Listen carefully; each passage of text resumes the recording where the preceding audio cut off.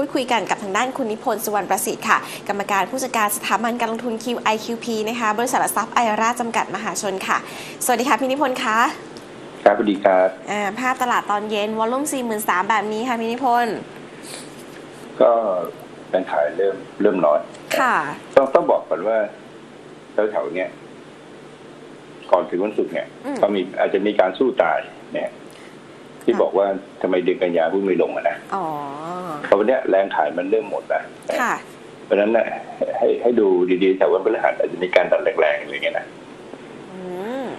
อาจจะมีเหตุการณ์แบบนี้เกิดขึ้นนะครับค่ะพี่แต่จะเริ่มจากวันนี้ก็ได้นะครับ เพราะว่าในในการวิเคราะห์ของเราเราคาดว่าสัปดาห์ สัปดาห์ของอาที่แล้วนะครับ มีมีสิทธิ์จะลงนะฮะค่ะ แล้วสัปดาห์เนี้ยต้องดูแล้วนะ การ rebound ไปที่หนึ่งหกสี่สี่เกิดขึ้นได้นะ1644เหรอแต่พูดไม่เท่าไหร่หรอกนะครับ แต่ TFEX เนี่ยต้องต้องต้องระวังนิดหนึ่งค่ะนะครับ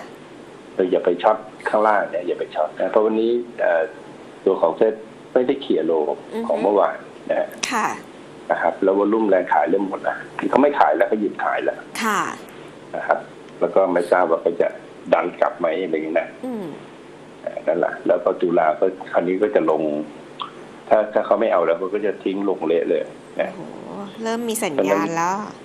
ใช่อืมดังนั้นถ้าถ้าเราช็อตมาอะไรอย่างเงี้ยนะค่ะเราเราเห็นเราเห็นสัญญาณแบบเนี้ยเนี่ยอย่างน้อยเราก็ปิดไปสักครึ่งหนึ่งมันตรงกับตัวเลขพอดีนะครับหุ้นเนี่ยผมไม่ไม่ค่อยน่าอะไรมันเท่าไหร่หรอกนะอื มมันก็คือลากตัวกระจายกระจายกระจายกระจายตัวแต่ TFEX เนี่ยมันสามารถลากได้นะค่ะพี่นะครับกันนี้ขึ้นไปถึงที่ให้ตัวเลขไปนะครับหนึ่งศูนย์แปดเจ็ดหนึ่งศูนย์เก้าสี่เลยนะมันลากได้หมดนะอืมในวันสองวันเนี่ยนะครับค่ะเพราะฉะนั้น TFEX ต้องต้องต้องระวังนิดหนึ่งนะค่ะว่าการ rebound มันจะเกิดขึ้นได้คือตามระบบเนี่ยนะครับ เราไปดูตัว U นะครับ U นะ ที่เคยบอกไว้นะครับว่าลงมาเนี่ย มันจะลงมานะครับแต่แถว แถวที่หนึ่งศูนย์แปดหนึ่งเนี่ยหนึ่งศูนย์แปดหนึ่งจุดสองนะฮะแถวๆเนี้ยมันมีโอกาสจะ rebound ได้หนึ่งครั้งนะฮะนะครับ มันมีสิทธิ์ rebound ได้หนึ่งครั้งค่ะนะครับอ่าซึ่งจะถึงตรงไหนเราก็ดูแล้วกันว่าหนึ่งศูนย์แปดเจ็ดจุดหกนะฮะอืมนะครับ หรือว่าเป็นหนึ่งศูนย์เก้าหนึ่งศูนย์เก้าห้าอะไรเงี้ยมีมีสิทธิ์นะค่ะนะครับตอนนี้แถวๆเนี้ยก็คือหยุดพักก่อนนะนะครับสำหรับคนใช้ระบบ นะครับมันเป็นการ rebound นะ rebound กลับขึ้นไปนะครับค่ะส่วนหุ้นเนี่ยไม่มีสาระนะเวลาขึ้นก็คงคงแบบขึ้นกระจายกระจายอย่างเงี้ยนะอือหือนะครับกระ t จาย v i ตัว p p ก็มันมันเนี่ยสงสัยแล้วเกิดอะไรขึ้นกับ t v i p p นะคือหุ้นตัวนี้มันบอกแล้วว่าเราไม่วิเคราะห์นะ ค่ะ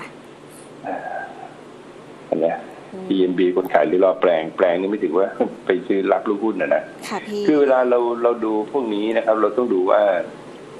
หุ้นมันมีอนาคตไหมอืมนะฮะคือเราต้องดูอนาคตของหุ้นนะเราไม่ได้ดูว่าเราแปลงแล้วค่าเฉลี่ยเราเท่าไหร่นะฮะค่ะแล้วเราต้องดูอนาคตว่าไอ้ไอ้ไอ้หุ้นเนี่ยมันจะดีต่อไปในอนาคตไหมมันจะมีรายได้ รายได้ เอ่ออะไรนะครับรายได้ โตขึ้นไหมนะธุรกิจของมันเป็นธุรกิจที่ดีในอนาคตไหมนะครับค่ะ ถ้ามันดีมันคงไม่ไปรวมกับคนอื่นนะฮะคือบางครั้งเราต้องตัดใจนะถ้าเราลงทุนผิดพลาดในหุ้นหนึ่งตัวนะค่ะนะครับ เหมือนกับบางคนไม่ว่าจะเรื่องไอเฟกเรื่องของเอิร์ธอะไรพวกเนี้ยนะคือผิดแล้วแก้ไขอย่าไปยุ่งกับมันอีกนะมันไม่มันมันคือแพ้แล้วยอมนะฮะอืมผมว่าไอ้ตัวทีมบีเนี่ยแพ้แล้วยอมไปเถอะนะครับ ไม่มีของดีราคาถูกนะนะครับ แล้วก็คนลงทุนทีมบีมีใครได้เลยมั้งล่ะอืม กับมันทีมบีนี่ราคาสูงสุดร้อยสามเอ็ดบาทนะค่ะไม่ได้เดนรู้เลยเลยนะลงมาเองเลยนะอืมลงมาเหลือบาทกว่าเนี่ยเป็นพื้นฐานล้วนๆเลยนะพื้นฐานดีก็คงไม่ลงมาตรงนี้หรอกนะค่ะแล้วแล้วมันไม่ใช่ มันต้องแต่ปีราคามันตั้งแต่ปีสองพันร้อยสามสิบอะอืมซึ่งซึ่งเราต้องเข้าใจนะว่าไอ้นี่มันสามสิบปีมันจะแก้ไขฐานะไม่ได้ราคามันไม่ขึ้นนะนะค่ะนะครับอย่าไปคิดถึงวิดีโอเดซซิ่งเลยนะครับ มันทำอยู่เจ้าเดียวเขาไม่เรียกวิดีโอเดซซิ่งหรอกนะ นะครับ เราพูดถึงวิดีโอเดซซิ่งกันตลอดเลยนะนะครับ ก็ก็มีมีกองปิดนะต้องทำวิดีโอเดซซิ่งนะค่ะแต่กองทุนส่วนใหญ่เป็นกองเปิดเขาไม่ต้องทำแล้วนะครับ เราก็พยายามเอาเรื่องเก่าๆมามาอะไรนะครับ มาหากลยุทธ์นะครับค่ะเห็นมีถามแอดวานมา คือไอ้ไอ้ตัวของไอ้ TPIPP มันตกเพราะว่า รายได้รายได้ลดกำไรลดค่ะนะครับไม่ไม่เกี่ยวกับจ่ายเงินปันผลนะฮะอือฮึเพราะรายได้มันลดกำไรมันลดมันจะเอาเงินที่ไหนมาจ่ายปันผล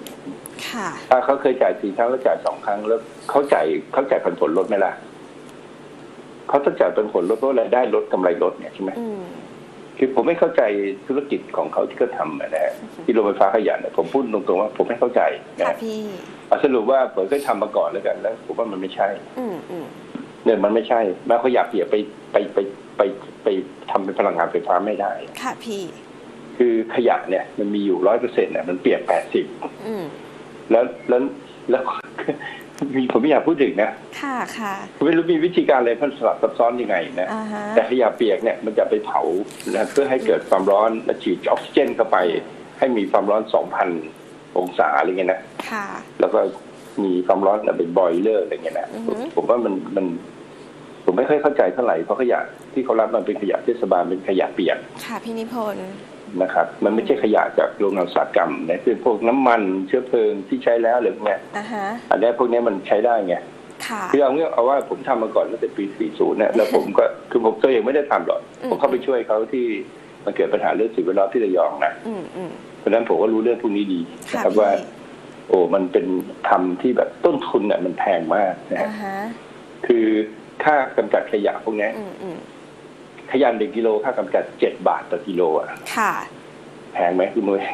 แพงนะคะต้นทุนแพงมากครับมันมันมันไม่ไม่คุ้ม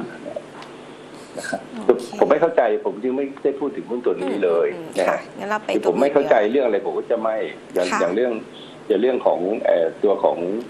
เอ่อบ้านปูพาวเวอร์เนี่ยบ้านปูผมยังเข้าใจบ้างนะอืม เอออันเนี้ยผมก็พูดถึงบ้างนะครับค่ะพี่แต่ตัวถ้าไม่ผมไม่เข้าใจธุรกิจเขาเลยนะผมก็จะไม่ไม่ไม่สนใจเลยนะโอเคอะนะครับได้ค่ะโอเค แล้วอย่างหุ้นโรงไฟฟ้าอย่างกราฟวันนี้ล่ะคะพี่นิพนธ์ก็มันหุ้นดีอยู่ในตลาดไม่ดีแค่นั้นเองอะ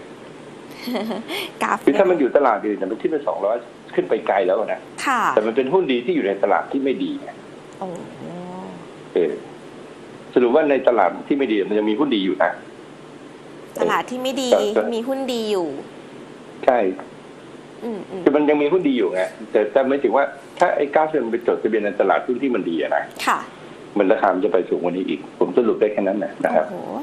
เพราะฉะนั้นโดยความที่มันอยู่ในตลาดไม่ดีอะทำให้ผมขาดไปไปแล้วครึ่งหนึ่งอ๋อพี่นิพนธ์ออกไปแล้วนะครึ่งหนึ่งผมบอกไปแล้วผมบอกก็ยังเหลืออีกครึ่งหนึ่งผมขายไม่หนึ่งสี่หกกับหนึ่งห้าแปดเนี่ยผมขายไว้ผมเหลยครึ่งหนึ่ง ค่ะ แต่แต่แต่ครึ่งนี้ลงมาถ้าถ้าผมไม่ขายนะ อืมถ้ามันไม่ขึ้นไปสองร้อยผมก็จะไม่ขายได้ถ้าไม่ขึ้นไปสองร้อยผมขายได้แต่ต้องดูกันว่ามันขึ้นตอนไหนด้วยนะอ๋อเออถ้าปีนี้มันขึ้นไปถึงสองร้อยเนี่ยผมจะขายเลยอ๋อขายหมดเลยนะฮะสองร้อยนะใช่ แต่ถ้าลงไปข้างล่างเนี่ยเดี๋ยวผมจะดูว่าเราผมจะซื้อคืนตรงไหน อ๋อแต่แต่ถ้าแถวร้อยสี่สิบแล้วเนี่ยผมไม่ซื้อนะฮะค่ะ ครับ นี่นี่คือวิธีลงทุนแบบเป็นเป็นรอบแล้วก็ อืม ต้องอืมนะครับค่ะพี่อืมคุณบัณฑิตบอกว่าไม่รู้ก็ไม่ต้องอธิบายรู้ แต่ไม่อยากอธิบายไม่อยากมีเรื่องกับใครเข้าใจไหมครับ ผมรู้ค่ะทุกเรื่องแหละเอาตัวอื่นดีกว่าไม่รู้ไม่อธิบายผมรู้ แต่ผมไม่อยากอธิบายมันไปกระทบ ค่ะ คือมันไปกระทบคนอื่นเข้าใจไหมเวลาเราเป็นนักวิเคราะห์หรือเราแนะนำบนลงทุนเนี่ยอืมเราไม่ควรไปอะไรที่นั่นเราก็ไม่ควรที่จะไปทำให้มันเกิดประเด็นขึ้นมาใช่ค่ะไหมพี่นะครับ อืม ดีแล้วดีค่ะเขาพี่ถามมาแล้วก็มาหาเหตุเพราะนักลงทุนเนี่ยนะที่เป็นแมงเม่าอะเวลาหุ้นตกก็จะมาหาเหตุผลว่าทำไมหุ้นตกเพราะอะไรทำมถึงโต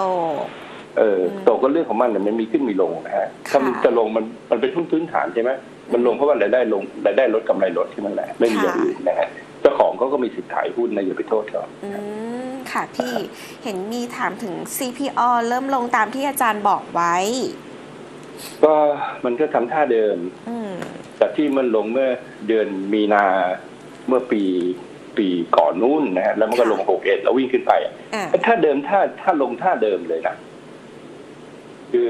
เจ้าขายข้างบนตึ๊บแล้วก็หลุดนะแล้วก็ไหลลงมานะฮะค่ะลงท่าเดิมไม่ไม่ไม่เปลี่ยนท่าเลยนะเออซึ่งซึ่งเป็นเหมือนเดิมท่าง่ายนะครับอืมเป็นท่าง่ายนะแต่หุ้นพวกนี้เวลามันลงแล้วเราจะรู้สึกแบบ มันอื่นอ่านนะมันไม่ลงเลยไง ค่ะแล้วเราชอบกันลงแบบแบบหุ้นปั่นเนี่ยมันลงโคมเลยแล้วเรียกว่าลงเขาขายไม่ทันเนี่ยอืมอันนี้ไอ้ไอ้ CBL เป็นหุ้นที่ดีถึงแม้จะลงเขาก็ยืนให้คุณขายเป็นเดือนนะค่ะซึ่งซึ่งผมก็ลดลงมาเป็นเดือนแล้วนะครับอือฮึ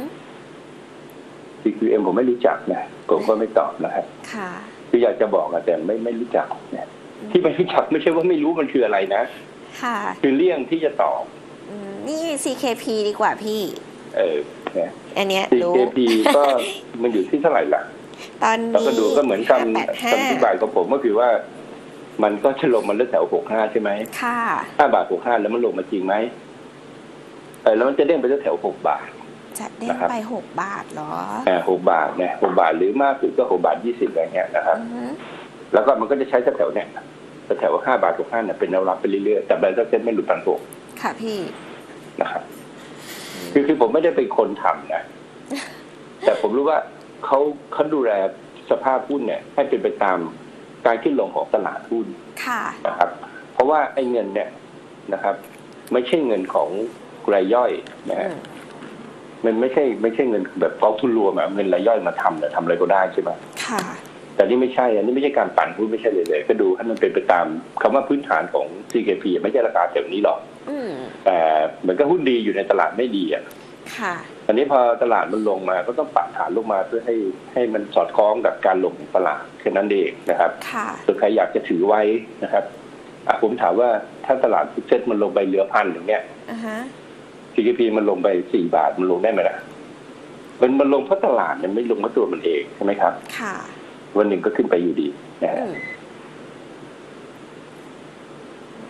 เคแบงกับ BBL ผมว่ามันก็อยู่ในกลุ่มนะ มันก็อยู่ในกลุ่มนะที่ที่สมมติว่ามันมันจะดันกลับมานะในวันวันพวกเนี้ยมันก็ดันกลับได้นะถ้าไปฟังที่ผมให้ขายดีๆแล้วผมจะบอกราคาหมดว่ามันจะลงมาถึงไหนอืมแต่วันที่ผมไม่ขายเนี่ยนะครับตัว BBL เนี่ย ผมก็บอกว่า เออ มันมันน่าจะวิ่งขึ้นต่อจากนี้นะแต่มันจะลงมาแถวแถวๆตรงหัวที่มันโผล่นะฮะค่ะคือผมจะให้แนวไว้ที่แถวๆหนึ่งหนึ่งเท่าไหร่นะฮะ หนึ่งเจ็ดหนึ่งเจ็ดสองหนึ่งเจ็ดหนึ่งประมาณเนี้ยนะฮะโอ้มันก็ลงมาแล้วมันก็ขึ้นเป็นหนึ่งเจ็ดเก้ามันก็ขึ้นไปจริงไงขึ้นไปแล้ใช่ไหมวครับด้วยเออ KBANK เหมือนกันเพราะฉะนั้นที่ผมให้ไว้เลยผมบอกมันย่อลงมานะแต่มันยังไม่ค่ะจบหรอกมันยังขึ้นต่อไปอีกาฮะอันเนี้ยมันก็ทำให้เราต้องระมัดระวังในเรื่องของการ long TFEX ถูกไหมค่ะเพราะหุ้นกลุ่มเนี้ยมันพร้อมที่จะวิ่งขึ้นไปอีกระลอกหนึ่งอือฮึนะครับ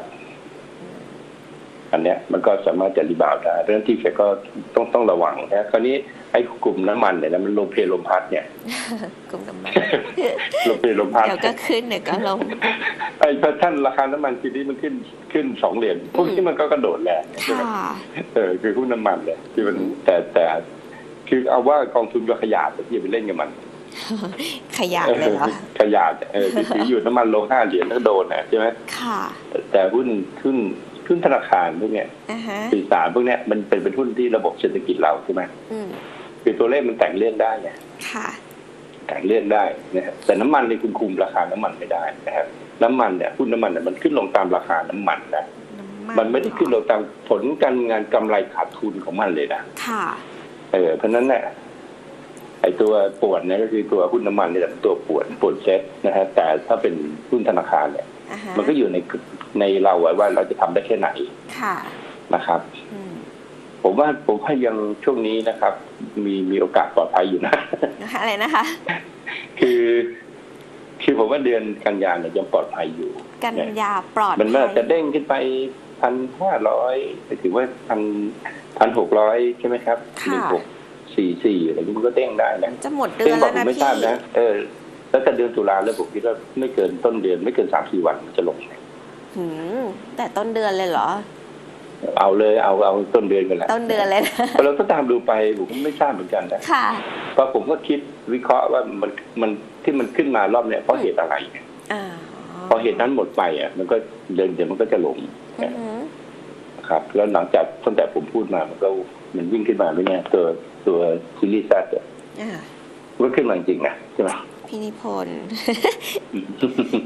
ส่วนทองคำก็ลุ้นคืนนี้นะครับลุ้นหนึ่งห้าสองหกในสัปดาห์นี้อ่าตัวทองคำนะครับ ตัววิลิชันยังไม่ได้แต่ตัวของ indicator ทุกตัวยังไม่ได้บอกว่าให้ buy นะค่ะเราเราลองทองคำมานะครับ ก็คือเทช้สัญญาณของเดลิชาร์นะครับอือฮึซึ่งเป็นตัวช่วยในการเข้าทำมาก่อนแถวหนึ่งห้าศูนย์หนึ่งนะฮะค่ะแล้วตอนนี้มันก็บอกว่าให้ถืออยู่นะครับ ซึ่งเราต้องไม่ต้องไปดูหรอกว่ามันขึ้นอะไรนะฮะเอาว่าถ้ามันปิดสัปดาห์นี้สูงกว่าหนึ่งห้าสองหกนะค่ะนะครับ ถ้ามันสูงกว่าหนึ่งห้าสองหกมันก็แสดงว่ามันจะไปแล้วล่ะนะครับ มันจะวิ่งขึ้นไปเท่าไหร่ก็นั่นก็เรื่องของมันแล้วล่ะอีกนิดเดียวนะครับอืมใช่ตัวน้ำตัวน้ำมันก็จะเป็นแบบนั้นนะครับค่ะ อืมใช่ไม่ใช่ตัวตัวทองเงินคต้องทองคำอยู่ดีเห็นเขาเขียนว่าเรื่องน้ำมันมันปวดใช่น้ำมันมันปวดอยู่แล้วนะฮะำค่ะคือคือเนื่องจากว่ามันไม่ได้เป็นขาขึ้นหรือขาลงอ่ามันใช้เวทเพื่อที่จะลงนะมันก็ห้าสิบเหรียญหกสิบเหรียญมันก็จะปวดอยู่เนี่ยอื้อหือนะมันไม่ใช่แบบว่าเอ้าผ่านไปเลยไปเก้าสิบเหรียญอันนี้มันจบไหมหรือว่าลงไปเลยสามสิบเหรียญนี่มันง่ายใช่ไหมครับอะไรอะไรที่มันใช้เวทมันก็ปวดหมดแหละนะฮะอ๋อนะครับก็เท่าแล้วเรากับก็ดูเสียงทองคำเกือบก็ลุ้นไปทุกคืนนะฮะอือฮะ วันนี้นะครับก็เมื่อคืนวันนี้เรารับหนึ่งห้าหนึ่งหนึ่งจุดสองเจ็ดวันนี้ก็ลงมาแค่หนึ่งห้าหนึ่งเก้านะฮะค่ะแต่วันนี้ก็ไม่เคลียร์ไฮถึงวันหนึ่งห้าสองหกก็ก็ลุ้นคืนนี้นะครับอืมคือถ้าเขาจะขึ้นคืนเนี้ยเขาจะต้องเล่นไปอะให้เห็นหนึ่งห้าสองเจ็ดห้าสองเจ็ดอือฮึ ช่วงนี้คนเล่นทองกันเยอะนะพี่อะไรนะช่วงนี้คนเล่นทองกันเยอะนะคะ คือที่มันเล่นเนี่ยก็คือผมสรุปว่าคนเล่นทองคือคนที่ช็อตไม่เป็นอ่าคือมันมีบางคนเนี่ยเขาเขาช็อตไม่เป็นเนกอะไหมครับเขาค่ะเขาช็อตแล้วเขาก็แบบรู้สึกว่ามันมันมันขัดยังไงก็ไม่รู้อ๋อผมก็จะไปหาตราสารมาให้สองตัวค่ะตามระบบเนี่ยมันก็จะมีทองคำอ่าคือทองคำเนี่ยมันเล่นได้แต่อีกตัวหนึ่งก็คือคือพันธบัตรรัฐบาลใช่ไหมค่ะพี่พันธบัตรรัฐบาลเนี่ยมันเล่นไม่ได้ไงนึกออกไหมอืม คือคือมันอาจจะผลตอบแทนแบบว่าทั้งปีห้าเปอร์เซ็นต์อย่างเงี้ยนะค่ะหมายถึงว่ากำไรจากราคาพันธบัตรที่เราเข้าไปทำนะอืมเออ มันจะมันก็จะอยู่ประมาณสักอะไรนะห้าห้าเปอร์เซ็นห้าเปอร์เซ็นต์อะอย่างเริ่มเข้ามาเนี่ยพันธบัตรจะได้กำไรห้าเปอร์เซ็นต์เป็นหนึ่งปีนะค่ะซึ่งดีกว่าหุ้นนะหุ้นนี่ผลตอบแทนติดลบนะโอ้หมายถึงว่าย้อนกลับไปแล้วมาพิจารณาดูนะครับค่ะส่วนทองคำเนี่ยมันจะกำไรกำไรพูดถึงทองคำแท่งนะอ่ามันสิบฮะเปอร์เซ็นต์นะ กว่ากว่าแต่เรามาจากพันสองตัวนี้มันพันพันสี่อะนะค่ะ นะครับ มันก็กำไรยี่สิบเปอร์เซ็นต์นะนะฮะอ๋อนะครับ เพราะฉะนั้นแต่ทองคำเนี่ยมันมีตัวที่เล่นการพนันค่ะการถือทองคำระยะยาวเนี่ยมันไม่ถึงว่ามันต้องดูมันต้องดูซื้อทองคำแท่งอืมอันนั้นซื้อเพื่อเกิดวิกฤตเลยนะตลาดเงินจะพังเลยแล้วก็มีทองคำแท่งอยู่ที่บ้านใช่ไหมค่ะ แต่ที่เราเล่น GO เลยนะเราเล่นเหมือนว่าเราเล่นเกินกำไรจากตลาดเงินอ๋อเออ ตลาดเงินถ้าตลาดเงินพังเราอาจจะไม่ได้เงินคืนนะค่ะโอ้ยแต่ทองคำแท่งเนี่ยมันไม่มันไม่เสียอะไรมันอยู่ที่บ้านเราแน่นอนนะดังนั้นก็เลยต้องแบ่งทองคำเป็นสองส่วนนะครับสองส่วนทองคำแท่งด้วยแล้วก็เอ่ออืมเอ่อกรงงจะลดหรือไม่ลดดอกเบี้ย ผมบอกผมพูดมาตั้งนานแล้วนะครับ ว่าดอกเบี้ยของกรงงเนี่ยนะฮะค่ะไม่ได้ไม่ไม่ไม่ใช่มันไม่ได้เป็นเครื่องมืออะไรอีกแล้วอะอืมโดยเฉพาะไอ้ไอ้ไอ้ดอกเบี้ยของของ ของเฟดก็เหมือนกันนะฮะค่ะไม่ไม่ไม่ใช่ไม่สามารถเป็นเครื่องมือที่กระตุ้นเศรษฐกิจได้อีกแล้วอือฮึนะฮะค่ะคือเรื่องที่มันเกิดขึ้นมาจากจากตอนสภาเนี่ยมันยังไม่จบเลยคือคุณลดดอกเบี้ยไป จนกระทั่งเนี่ยนะครับ มันลงไปอยู่ที่ก้นละ 0.25 เนี่ย แล้วถ้าถ้าไม่กระตุ้นให้เศรษฐกิจมันขึ้นมาโดยการ GQE เนยนะครับ ค่ะค่ะคือคือตลาดหุ้นมันไม่ขึ้นหรอกนะอ่าฮะฮะนะครับอืมคือเรื่องปัญหาจากสภายังไม่ได้จบนะ ค่ะพี่ ไอไอตัวที่ฉีด QE เข้ามาเนี่ยยังไม่ได้จบนะ อืมก็ต้องฉีด QE เข้ามากันอย่างนี้ตลอดหรือเปล่าค่ะแต่ถ้าจะฉีดก็ต้องลดดอกเบี้ยให้ให้ให้ลงไปข้างล่างก่อน ผมเชื่อว่าอเมริกาลดดอกเบี้ยไปจนเหลือ 0.25 นะค่ะเศรษฐกิจก็ไม่ฟื้นอืมมันก็ไม่ฟื้นนะมันก็ต้องฉีด QE ใหม่อยู่ดี แต่ก่อนจะฉีด QE ใหม่อะเอาเก่าอะกลับไปก่อน ค่ะพี่เอออมมักจะล้มกระดาน การล้มกระดานก็คือเอา QE กลับอ่าไม่ต้องกลับมากเรากลับแค่บางส่วนเนี่ยกระดานล้มแล้วนะค่ะสิค่ะนทรัพย์ก็จะราคาถูกเพราะเศรษฐีนะครับอื มมันก็จะไปช้อนทรัพย์สินราคาถูกกลับมาอยู่ในมือนะฮะแต่วันเนี้ยมันกลายเป็นว่า ไอ้ทรัพย์สินราคาราคาแพงเนี่ย มันอยู่ในมือคนรวยหมดแล้ว มันไม่ได้อยู่ในมือคนคนคนชั้นกลางใช่ไหมค่ะพี่เพราะฉะนั้นมันก็ไม่รู้จะทำให้ลงไปทำไมอะมันลงไปก็มันก็เสียหายเองอะอืมเพราะฉะนั้นมันก็เป็นที่ผมเรียกว่าไอ้กับดักทุนนิยมค่ะพี่เออตรงเนี้ยอืมต้องต้องถ้าวันไหนมีเวลาแล้วก็ไปฟังนะได้ยี่แปดก็ได้ไปฟังเล่าให้ฟังยี่สิบแปดนี้แล้วใช่ใช่อืม ได้เลยพี่นิพนธ์ค่ะ วันนี้ขอบคุณข้อมูลพี่นิพนธ์มากเลยนะ แน่นปึกครับเลยครับขอบคุณค่ะครับสวัสดีค่ะอ่าขอบคุณนะสำหรับข้อมูลค่ะกับทางด้านคุณนิพนธ์สุวรรณประสิทธิ์นะคะ กรรมการผู้จัดการค่ะสถาบันการลงทุน QIQP นะคะ บริษัททรัพย์ไออาร่าจำกัดมหาชนค่ะ ก็เป็นข้อมูลที่พี่นิพนธ์นำมาฝากกันทั้งในส่วนของหุ้นทองคำแล้วก็ทีเฟกด้วยนะคะ ก็วันอาทิตย์นี้เราก็จะมีการเรียนกันแล้วนะคะทางด้านพี่นิพนธ์นะคะ แล้วก็ในส่วนของ The Go เราก็จะมีวันอาทิตย์นี้เช่นเดียวกันนะคะ ก็เห็นว่าเมื่อช่วงเช้านี้เราโปรโมทไป 10 ที่นั่งไม่แน่ใจว่าเต็มหรือยัง ลองโทรไปถามทีมงานดูนะคะ ที่แอดไลน์ BLLMI ค่ะ ลองไปถามรายละเอียดกันได้นะคะอะและในส่วนของเซตตอนนี้นะคะก็ปิดไปแล้วนะที่ 1,630.50 จุดค่ะ บวกมา 7.71 จุดด้วยกัน มูลค่าการซื้อขายตอนนี้ก็ 50,000 กว่าล้านบาทเองนะคะ และสายต่อไปของเราพร้อมแล้วค่ะ